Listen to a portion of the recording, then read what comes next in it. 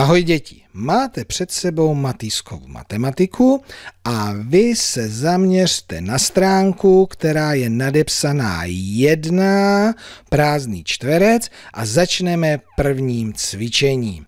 Otevřeme ho a přečteme si zadání. Zkusíme to společně, ano?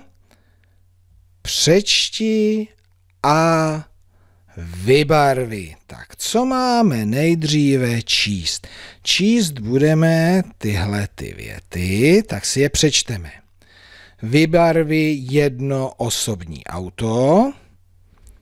A druhá věta, vybarvi jedno nákladní auto.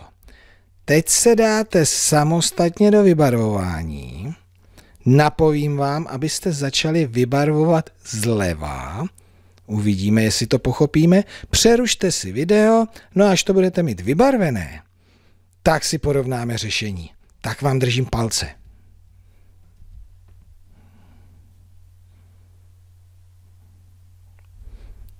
To nebylo nic těžkého, takže pojďme na to řešení. Já si ho tady otevřu.